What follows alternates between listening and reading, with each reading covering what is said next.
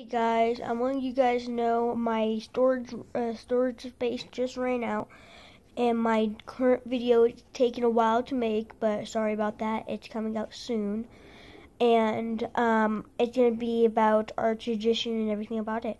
And I gotta delete some more storage space. Cause I only have eight minutes left to pretty much record. And I'm gonna let you guys know I, on my video I did run out of storage space, so sorry about that. Um, I will after that I should be in the store uh, where I'm gonna be at. Uh, I'm gonna I'm gonna catch you guys uh, in the next vid.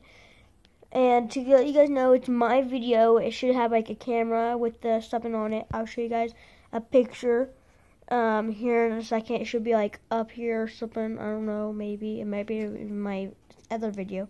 Who knows? I'm to do that later in the future.